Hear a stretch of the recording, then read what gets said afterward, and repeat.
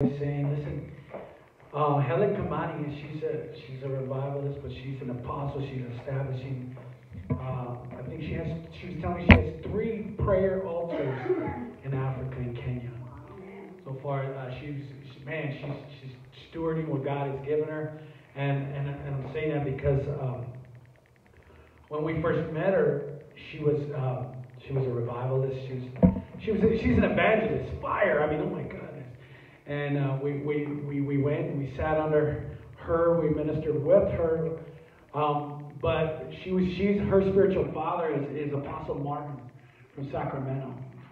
And so we get there. This is before we even started 425 Church. And you guys know Kavika.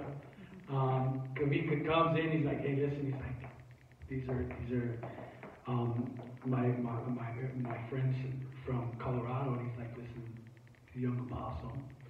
Like, uh, you, I want you to pray for them. And he looks at Kavika, looks at, Mama Wangari, looks at, and they're like, and he's like, okay, man of God. And so Apostle Martin and his wife brought us up there and they laid hands and imparted the apostolic to us before we even started, right?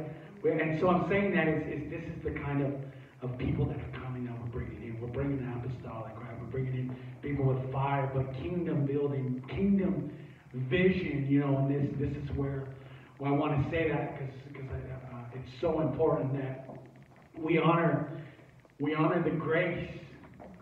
You know, when, when, when people do come in, we honor the grace. The Bible says when, when if you are if you honor a prophet in the name of a prophet, you'll receive a prophet's reward. Right? And so that's a spiritual principle. And so I say that just to to just get a little prelude for when she's coming. And so, guys, um, I'm going to start off with a song today. Um, if you guys would just listen to this, close your eyes with me. And uh, where's Jeremy? Okay, I'm glad Jeremy's in the room. Uh, so I want, I want you guys to.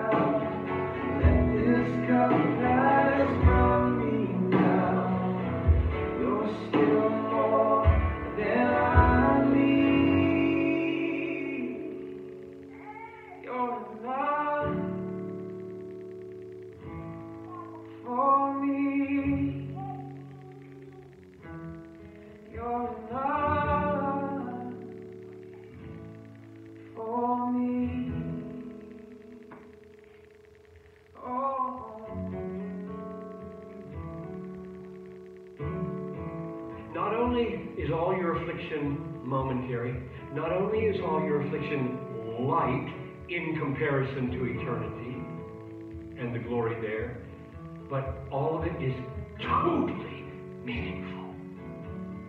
Every millisecond of your pain from the fallen nature or fallen man, every millisecond of your misery in the path of obedience is producing a peculiar glory you will get because of that. I don't care if it was cancer or criticism. I don't care if it was slander or sickness. It wasn't meaningless. It's doing something. It's not meaningless. Of course you can't see what it's doing. Don't look to what is seen. When your mom dies, when your kid dies, when you've got cancer at 40, when a car careens into the sidewalk and takes her out, don't say, it's meaningless. It's not. It's working for you an eternal weight of glory. Therefore, therefore, do not lose heart, but take these truths and day by day focus on them. Preach them to yourself every morning. Get alone with God and preach His word into your mind until your heart sings with confidence that you are new and cared for. Oh,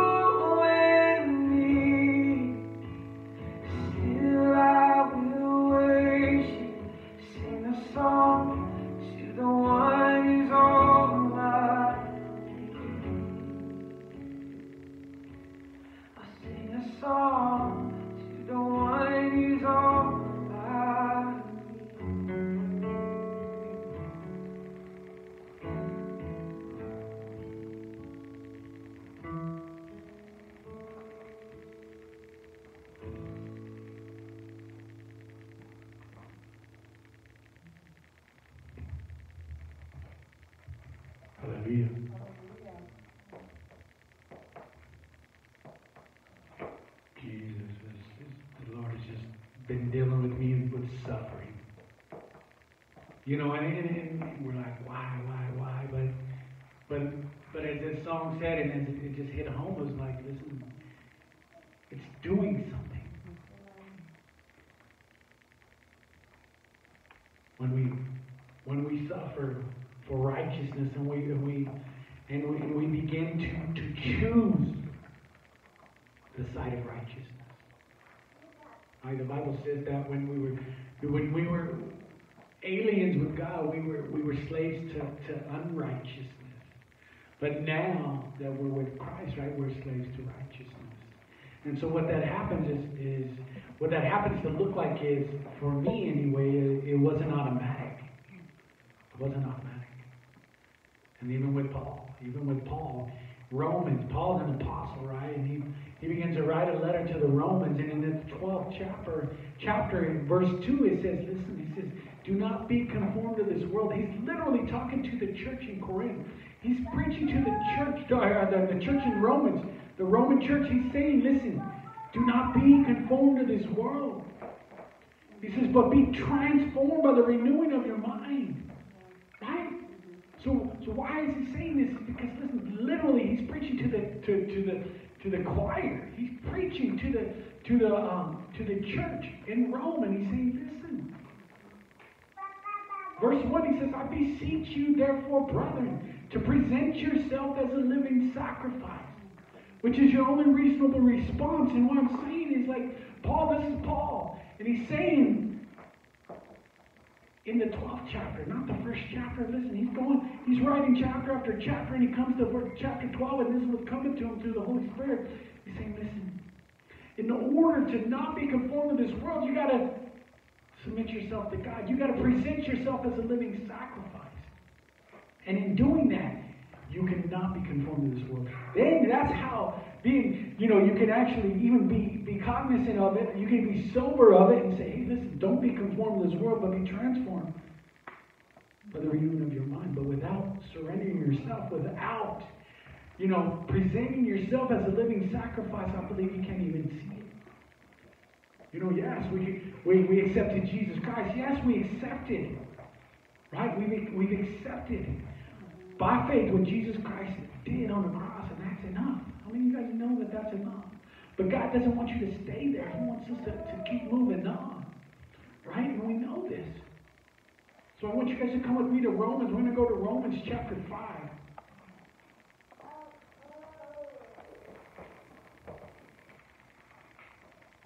We're going to start at verse uh, 1. Jesus.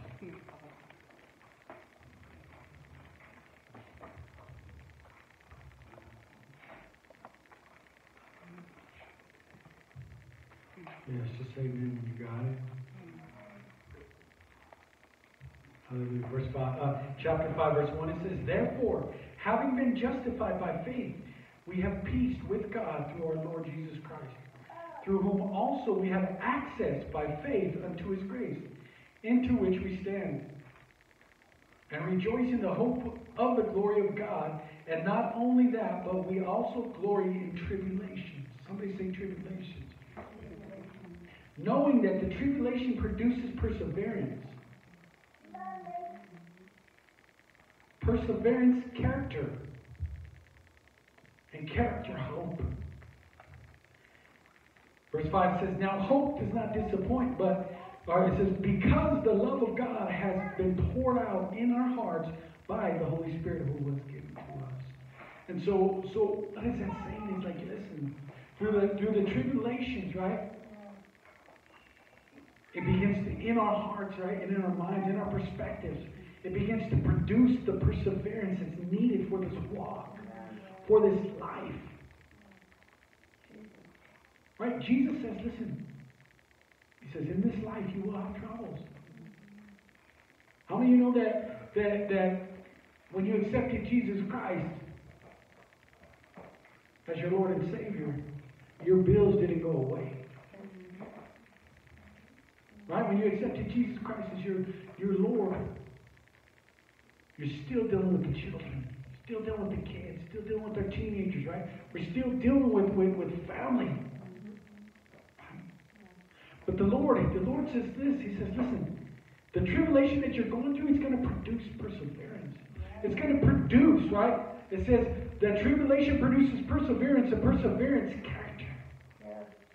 See, before Christ, we didn't have that. Right? We dealt with it other ways. Right? We dealt with it through drinking. We dealt with it through getting high. Right? When we get trouble, the path of least resistance is we get we tuck tail and run. Come back in three days. Serious. That's how we dealt with the situation. Right? This is how we deal with it. We can, you know, throw stuff, break stuff, get crazy, but guess what? The tribulation now in Christ, it produces character.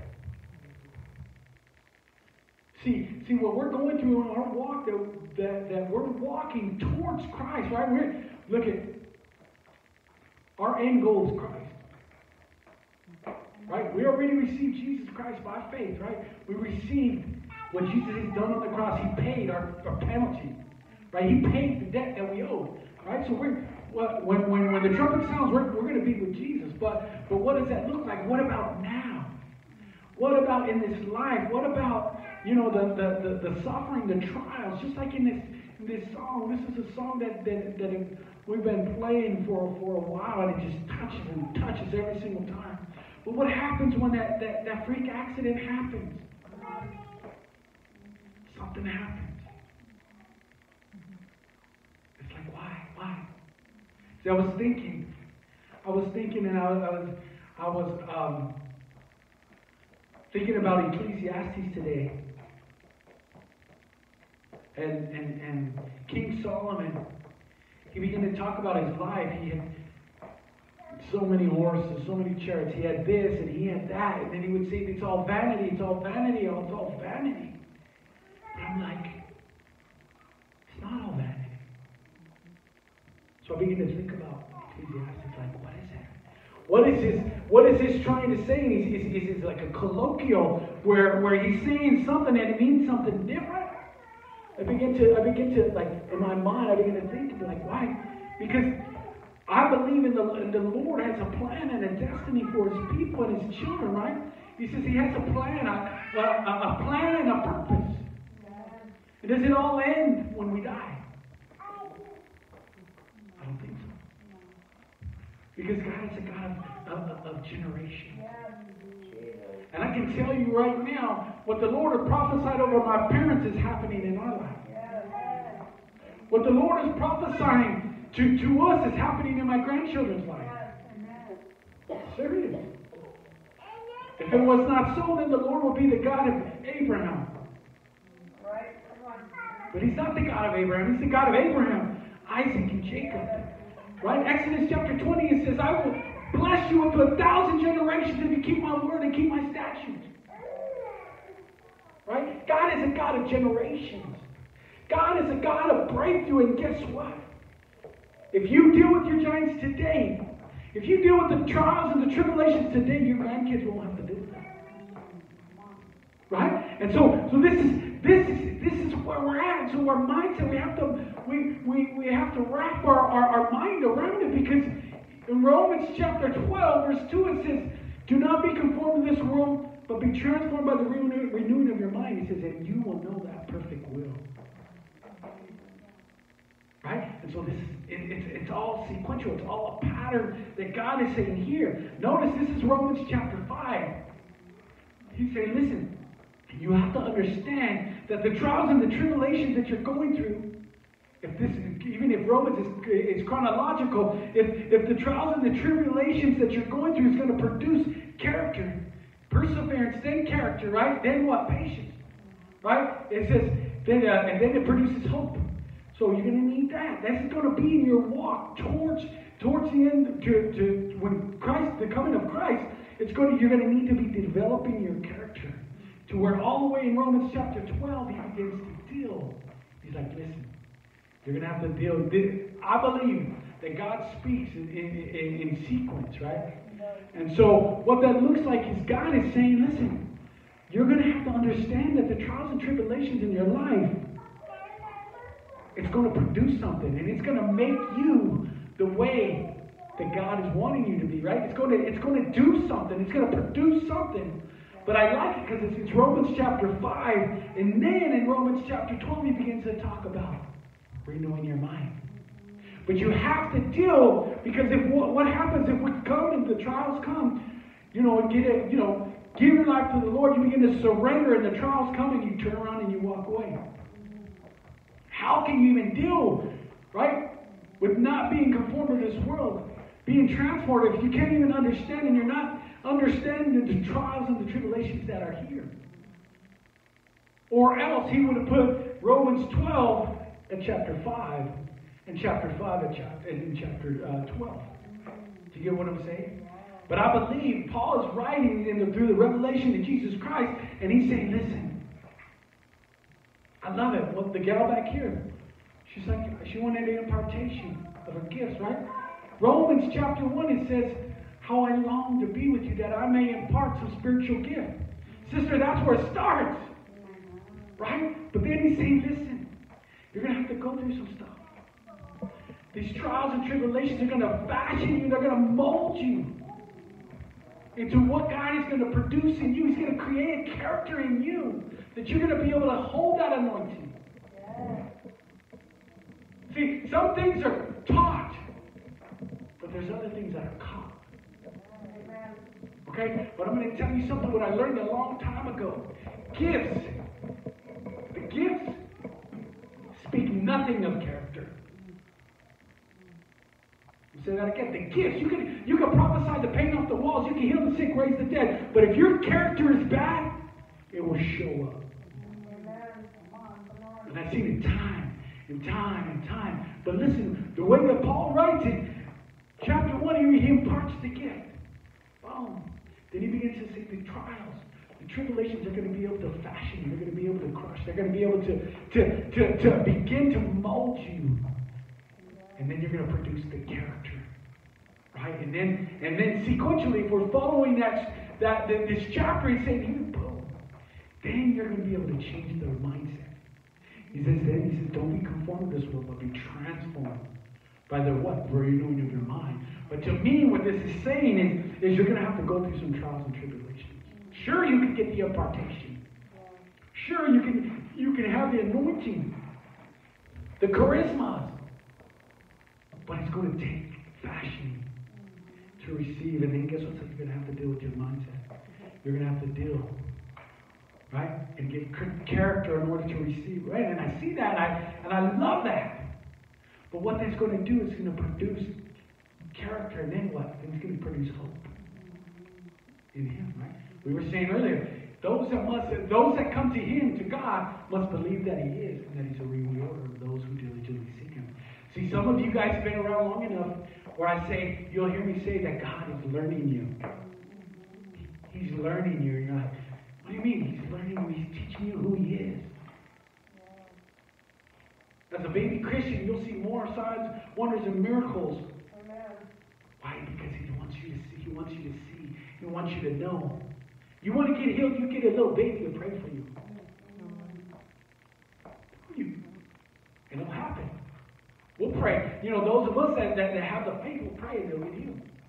But what I'm saying, the baby, that childlike faith, he wants us to come as children, right? But then, like, we'll get our little grandson. Lay hands and he'll come and lay hands literally get healed. Seriously, but that's this is what it is. But God, even now, each one of us are at different stages. He's learning us. Right? He's showing us week by week. He's like, wow, he's showing me. I'm like, Lord, wow. He awes me every time, every time, every week. And I'm like, oh my God. You know, what this is this is this is what we're talking about. Do you know that, that, that familiarity breeds contempt? But I believe that, that, that the angels in heaven, they're, they're worshiping and saying, Holy, holy, holy, because every time they cry out, Holy, they're seeing another facet of God. They're seeing another hue, another dimension of God's awesomeness. Right? Of God's holiness, of God's mercy. You know, of God's favor, God's love. Right? And so, how many of you know that the kingdom is upside down? The kingdom of God is upside down. Oh my God. We're saying that the trials and the tribulations, the hurts and the pains and the sicknesses and the diseases are for my favor. Yeah. Like, oh my gosh. Like, don't say that. I have to say that. It's in the Bible. Let's go to 1 Corinthians. Uh, let's go to 2 Corinthians chapter 1.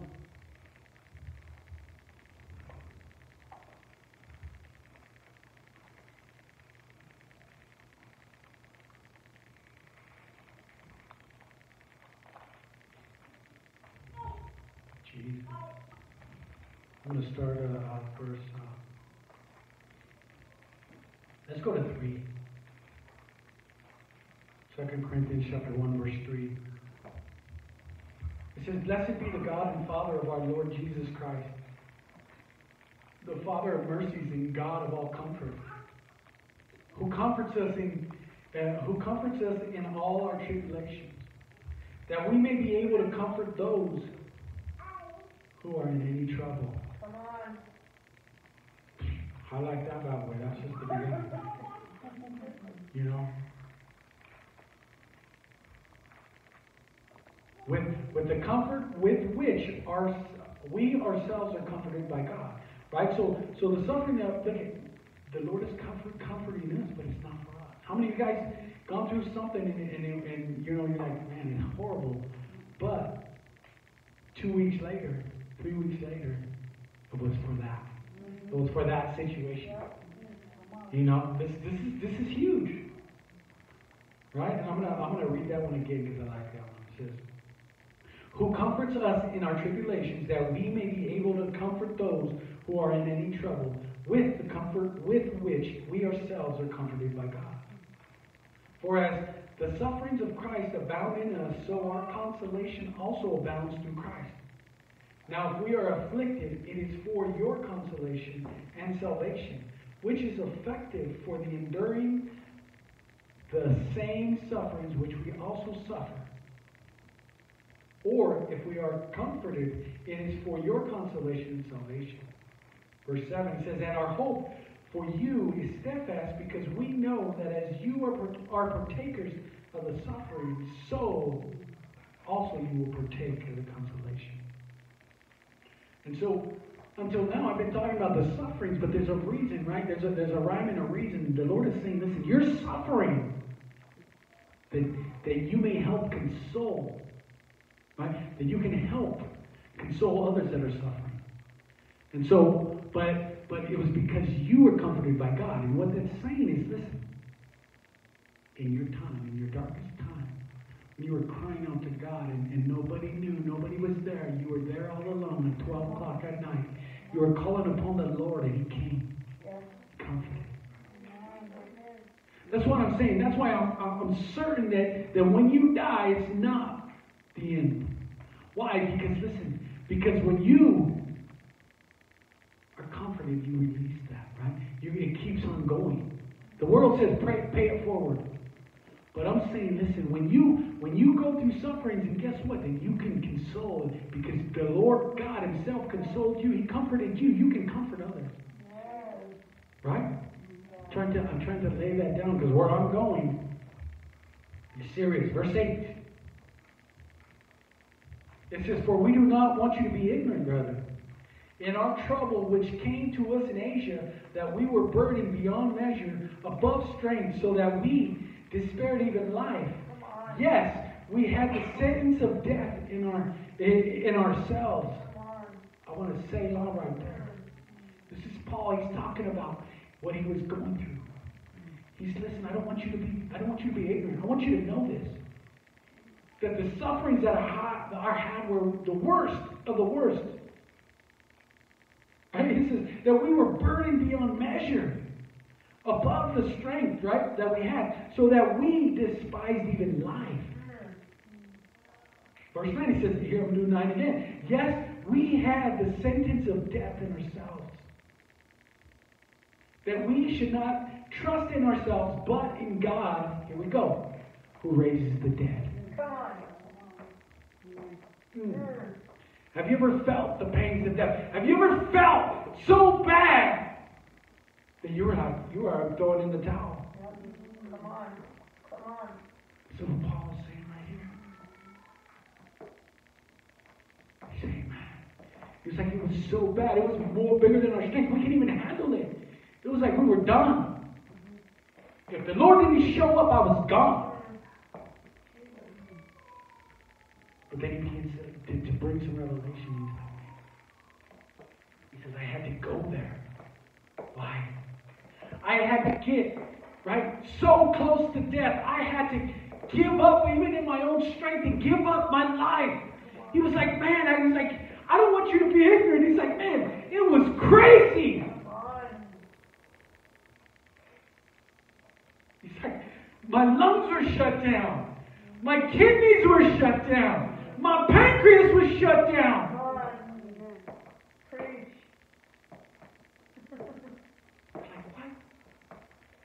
See, some of us are going through things, we're going through, through, through, through, through sicknesses and going through disease, and we're, we're like, Lord, what are we doing? What's happening, God? And we're thinking like there's no victory. But God is the God who raises the dead.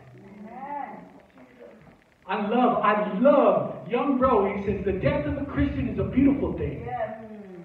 I don't even know what song that is, but I remember that to this day. Why? Because guess what? When a Christian dies, then God can move in and He can raise the dead. Then you can operate in the resurrection power that God, Jesus Himself, operated in. Why? He said, Jesus said this, it's better that I go. You see, we're thinking here, it's like, Jesus is like, man, it's better that I go because guess what happens? When I die and I'm resurrected, that power is released. Right? And so this is this is what we're coming into. The Bible says, unless a seed falls down to the ground and dies, it will not produce fruit. What is he saying? That the sufferings and the crushing, the sicknesses, the diseases, the divorces, the, the, the, the, crushing produces death. That the power of the resurrection, Christ, that was in Christ that raises from the dead, can come in and move in your life. Why is that so important? Because, listen, what's happening is, listen, there's, we have a powerless church because all the church is alive. There, there we go. You want to know the problem with the church? You want to know the problem with the, with the, with the mainstream churches? They're all alive. They all got opinions. They all got rights. Right? We were born with inalienable rights. This is, you don't have a right to do this, have a right to do that. Yeah. Okay. Do it. But when you see somebody that's dead and hidden in Christ, they operate in. They'll operate in the resurrection power. They'll operate in signs and wonders because he says, listen, uh, uh, uh, Mark chapter 16, verse 17, he says, these signs will follow those who believe. Right? Not just to believe in, the, in, in, in, in laying hands on the sick and the recovered, they believe that Jesus Christ came he was crucified, he was buried, and he rose again. See, there's factions in the church that believe there's no resurrection. But if there's no resurrection, if Christ wasn't raised, then we're not raised from the dead. So we're living, we're living, we're, we're living our best life in us. See, now we're, we're, we're doing our own thing. Right? This is, this is what it is, but what is it taking? We have got to go through the crushing. We've got to go through the pressing. Right?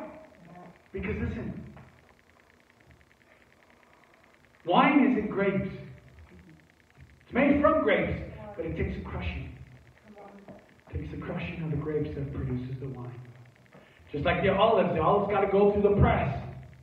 But when the press, when they, when they get crushed, it produces the oil. I'm going to tell you, man of God, I'm going to tell you, woman of God, through that crushing produces the character. Right? You want to be the character of, uh, of Christ? Right? We want the mind of Christ. We want the character of Christ. Well, you have to you have you have to partake in his sufferings.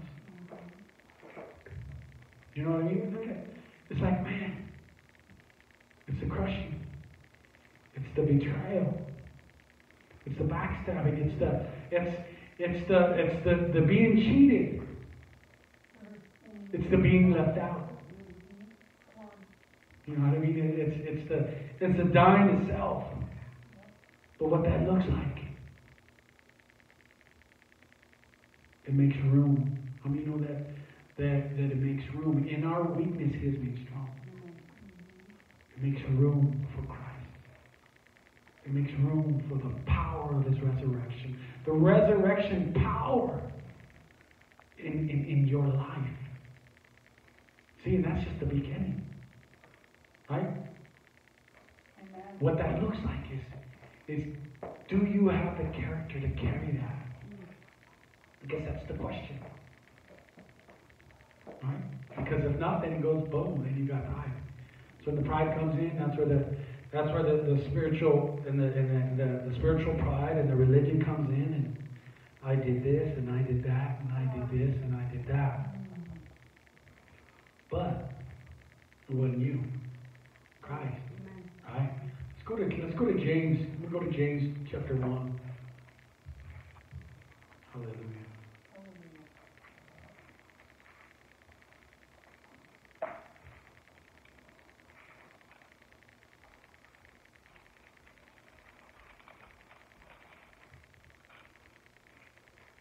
I'm going to start at uh, verse 2.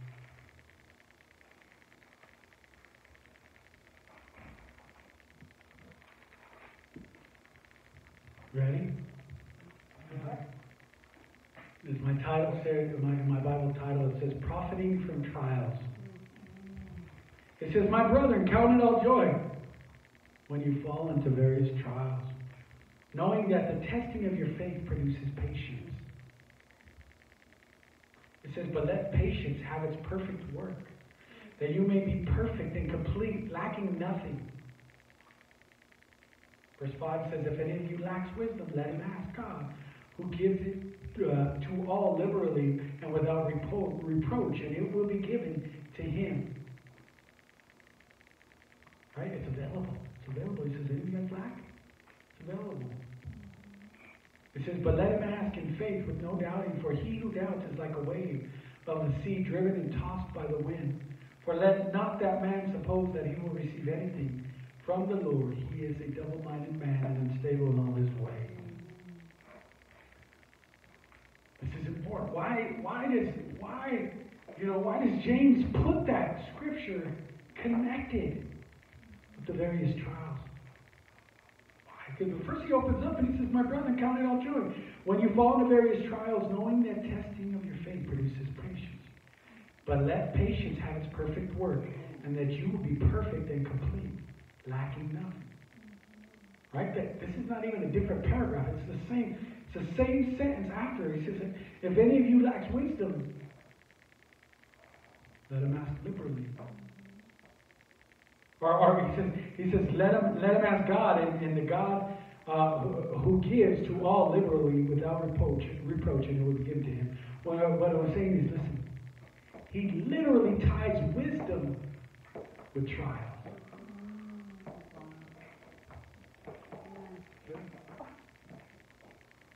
Here we go. See, some of you guys are, are going through these trials you don't understand, and you feel like the, your, your blood pressure is high, and it's coming, right? And it's like, oh my God, here it comes again. And I go, Lord, when is it going to stop? But it's producing what? Producing, it's producing that patience. Right? But but he's equating this patience, he's, he's equating this with wisdom. Any of you guys ever prayed for patience? You done did it now. Right? Because the God, the, the God of Abraham, Isaac, and Jacob is the God of, of you. You, your generation. Your, and so what happens when you ask God for patience? He's like, all right, because the Word of God says, listen, if any of you lacks wisdom, See, he equates it. He equates patience with wisdom. If any of you guys lack wisdom, ask for the God who, who gives it, and guess what? He's going to give it to us liberally. I mean, he's going to give it all. But he backs up. So you ask for patience, and he's like, okay, I'll give it to you, but then he pushes you back. It joy. You're like, what? No. like, I don't want to count it all joy. You know what I mean? Or, or how? Like, how do I count it all joy when, when I see this and, the, and, and, and, you know what I mean? And the water's rising and coming around. But the Bible says, it says, when the enemy comes in like a flood, yes. God raises the standard. Right? So what I'm saying, this is, this is God and His infinite wisdom. When, when in His ways that are higher than our ways, He's like, He's like, in order to go up, you got to go down. You know, this is this is. It doesn't make sense. If you want to be first, you got to be last. Literally, Jesus says this: Is not the one that sits at the table greater than he who serves? He says, it's not so in the kingdom. So what do we what do we do, Lord? You got a Starbucks card if you answer that one right. It's like, die. like, what? Die. Because if you die, when you die, then the resurrection power, the same resurrection power that raised Jesus from the dead will come to you. You're like, dang, I don't want to die. But that's what it is. It says, wide is the path to destruction. But narrow is the way. Few find it. See, narrow in the Greek means to crushing. Narrow means to, to go like you know what you gotta you know the way I see it is like you're walking through and the, the walls are closing in and you gotta take off your jacket. You gotta take off, throw that backpack down. Throw that purse. Throw that extra baggage from the past. All that pain, all that shame, all that rejection.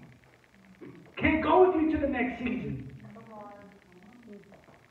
Right? So you gotta go and you're trying to slip through. Some of us need butter. You're like kind of right? But you gotta have to release everything. Right? Because guess what's happened? Narrow is the way. If you find it. And so why am I saying this? What? This is what the Lord is saying.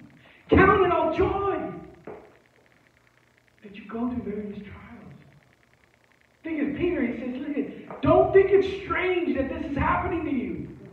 It's supposed to happen. Right? So that's where it is. There is. The message. What is like? Where is the message? What is what is the punchline? That's the punchline. Don't think it's strange that you're you're going through this. Because it's producing what God wants to produce. And in order to produce what ultimately it's going to produce death in your life.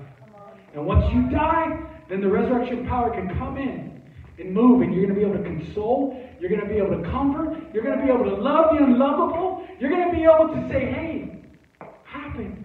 You're going to be able to look at the homosexual and say, what happened? You're going to be able to look at the drug addict and be like, what happened? What are, you, what are we doing? Let's do this. That? Because that's the love of God. Because Jesus, He went through the suffering. The Bible says that Jesus, through His sufferings, He learned obedience. And I'm going to say that. For in Christ, through sufferings, we're going to learn obedience.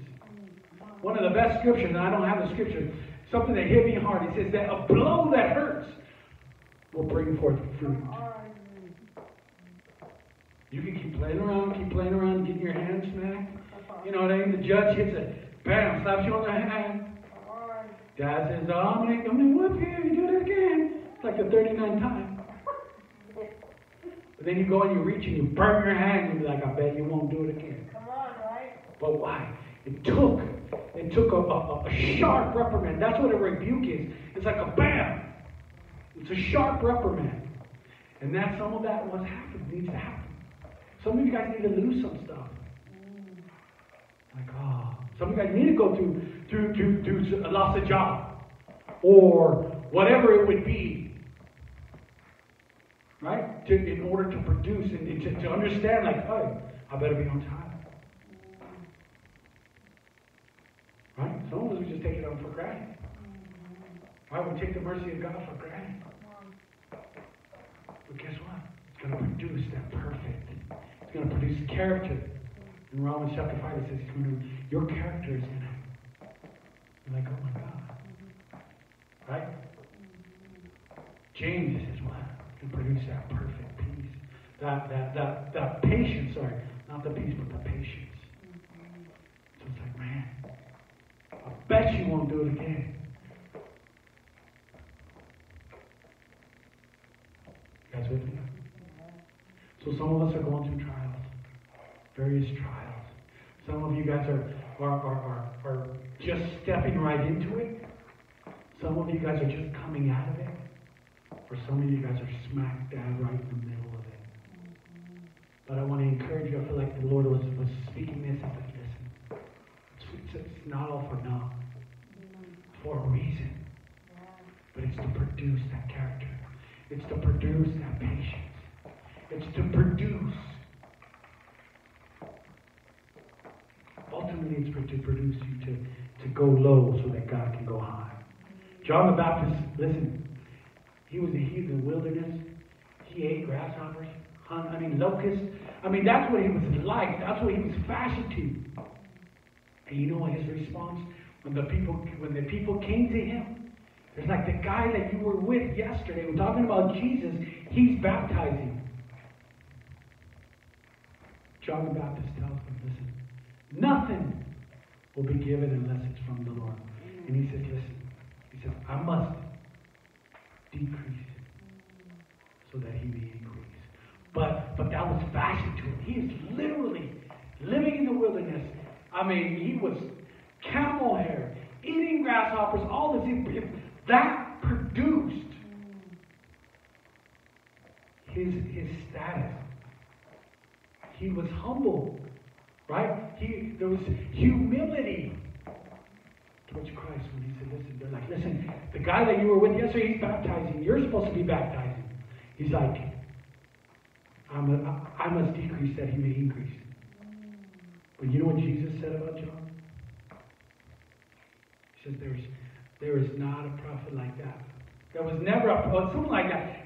What, what's coming to my mind is like, there, there, there was never a prophet like till this time like him, and there never will be.